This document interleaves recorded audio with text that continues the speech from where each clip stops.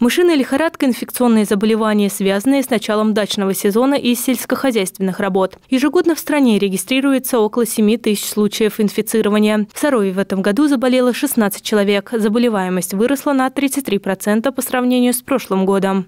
Ежегодно, весной и осенью, наша лаборатория проводит отлов грызунов и их исследования.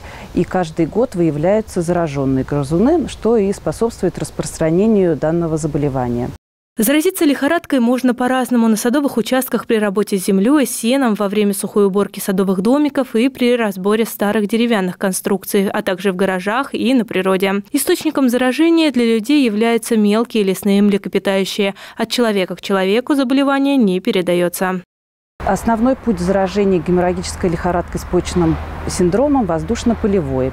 То есть вирус вместе с выделениями грызунов через дыхательные пути человека разносится уже по всем остальным органам. Инкубационный период болезни длится от 4 до 49 дней, в среднем 2-3 недели. Болезнь начинается остро с повышения температуры тела до 38-39 градусов, сопровождается ознобом, головной болью, жаждой. Появляются боли в глазных яблоках, ухудшается зрение. Возникают боли в животе и пояснице, снижается количество выделяемой мочи вплоть до полного прекращения. Специфического лечения геморрагической лихорадки не существует, однако следует отметить, что после того, как человек переболел, у него вырабатывается пожизненный иммунитет.